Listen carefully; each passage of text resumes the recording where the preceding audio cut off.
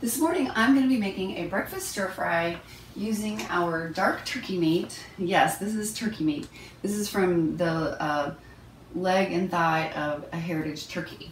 And I'm also going to be um, adding spinach because that's what I happen to have, but you can add anything you want, any kind of vegetables that you want. To give this a little bit of a porky flavor, I'm going to add, I'm going to be cooking it in our home rendered lard that comes from our American guinea hogs.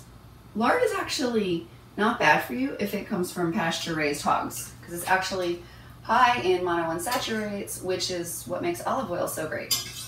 It's over 50% monounsaturated. But do not buy the stuff in the store because that stuff has been hydrogenated or partially hydrogenated which is why it stays solid at room temperature and it's why we keep this in the fridge because if it's at room temperature it gets really really soft and um, doesn't last quite as long. So we're gonna melt, so I've got about probably about two tablespoons of lard that I'm gonna cook this in. Gonna melt that.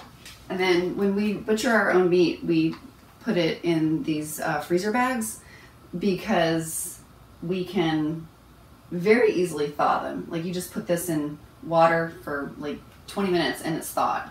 So um, I really, really love freezing meat like this.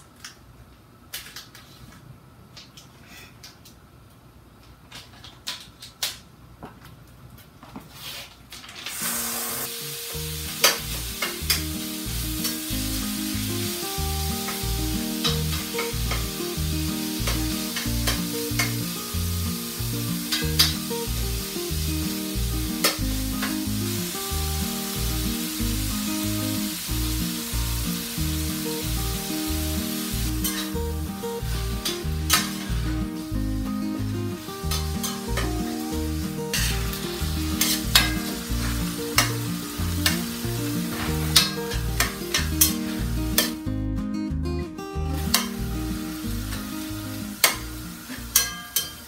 To make this taste like a traditional breakfast sausage, I'm gonna add about a tablespoon of sage, which sounds crazy, but believe me, it's not too much.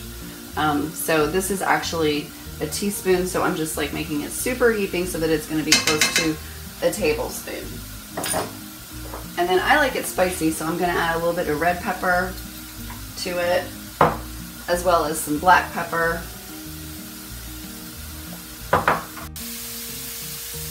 Now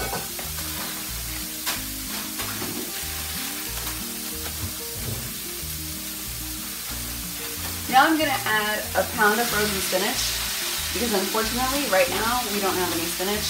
We have been having an unprecedented amount of rain and the spinach is not growing at all. So we don't have any. Um, I think we even put it in raised beds, but unfortunately not growing. So I think the, um, I think it's still, they're just getting, the seeds are getting drowned. Um, so We've got some mustard greens working, but not much else. Mustard greens and onions. And that's it. If you've got, you could also add, um, one of the other things I like to add a lot is like cubed butternut squash, or you could add kale or um, carrots, onions, mushrooms, whatever veggies you happen to have around. It's super simple.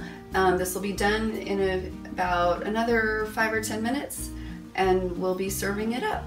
And I'm also, just before serving, I'm gonna add some crushed garlic to this too. Bye! If you have any questions, just post in the comment section below and I'll get back to you.